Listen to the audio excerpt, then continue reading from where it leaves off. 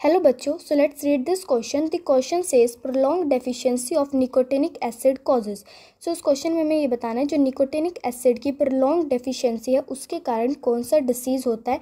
हमारे पास four options दिए हैं। हमें जो है मोस्ट अप्रोप्रिएट ऑप्शन को पिक करना है। So let's begin our discussion with the key concept key concept के अंदर हम जिस चीज़ के बारे में बात करेंगे that is the nicotinic acid के बारे में। So let's begin our discussion on this so जो निकोटेनिक एसिड होता है इन ह्यूमन डाइट अगर इसकी ह्यूमन डाइट के अंदर डेफिशिएंसी हो जाए सो इससे ये किसको अफेक्ट करता है? ये अफेक्ट करता है पिगमेंटेशन ऑफ़ स्किन को। किसको अफेक्ट करता है?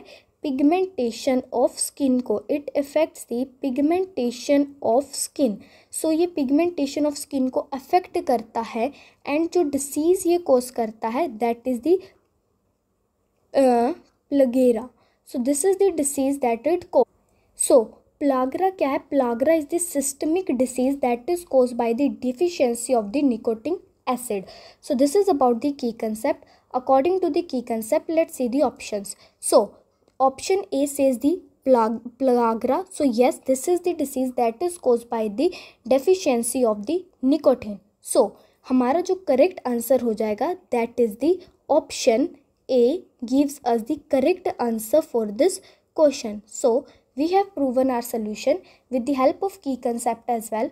I hope you understood it well. All the best. Thank you.